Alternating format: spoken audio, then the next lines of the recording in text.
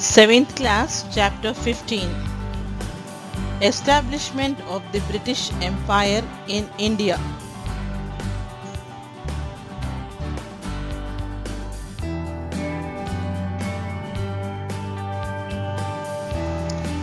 Hello, children. In the previous class, you have learnt about Mughal Empire and their administration. Aurangzeb was the last of the powerful Mughal rulers. After his death, many Mughal governors and Jamindars began establishing regional kingdoms.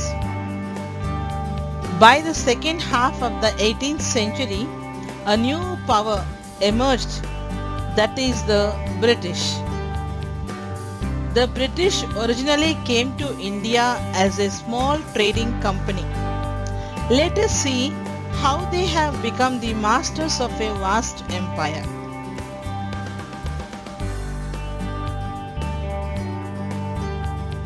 Children, let us see how East India Company had began their journey. In 1600 CE, the East India Company acquired a charter from the ruler of England, Queen Elizabeth I, granting it to the sole right to trade with the East. This meant that no other trading group in England could compete with the East India Company. With this charter, the company could venture across the oceans looking for new lands from which it could buy goods at a cheap price and carry them back to Europe to sell at higher prices.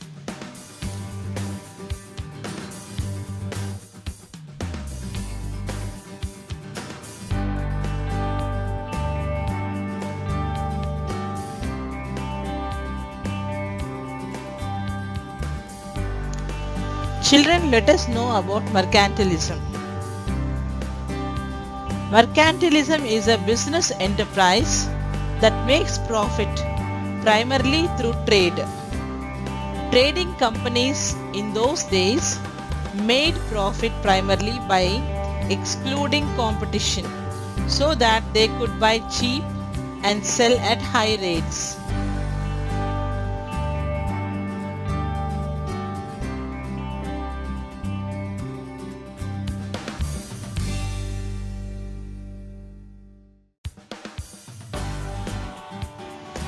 The Royal Charter, however, could not prevent other European powers from entering the eastern markets.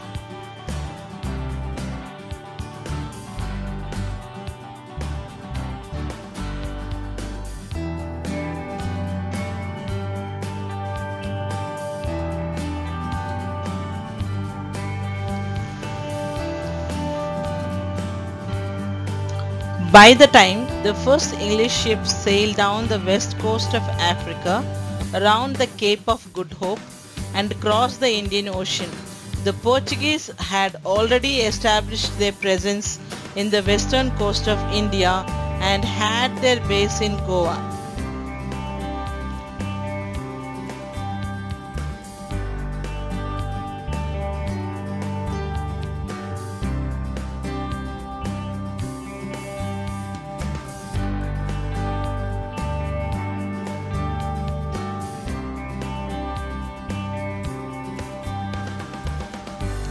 Vasco da Gama, a Portuguese explorer, had discovered the sea route to India in 1498.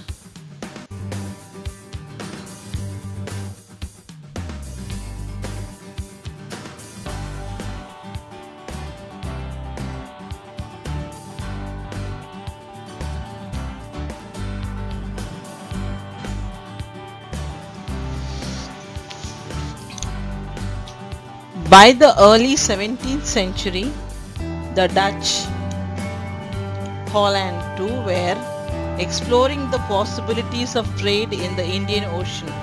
Soon the French traders arrived on the scene. The problem was that all the companies were interested in buying the same goods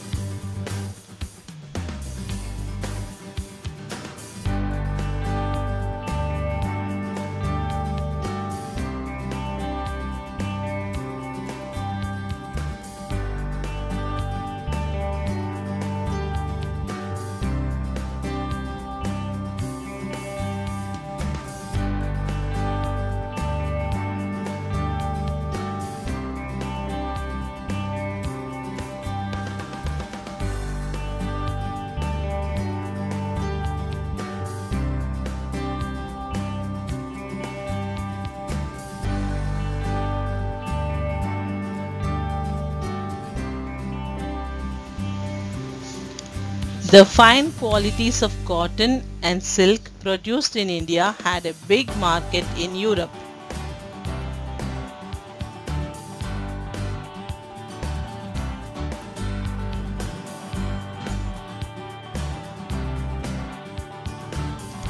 Spices like pepper, cloves, cardamom and cinnamon too were in great demand.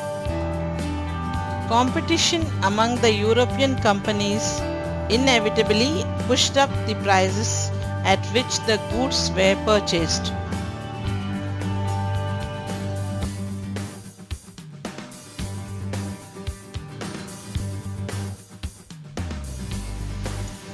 Trade was carried out with arms and trading posts were protected through fortification. This effort to fortify settlements and carry on profitable trade led to intense conflict with the local rulers.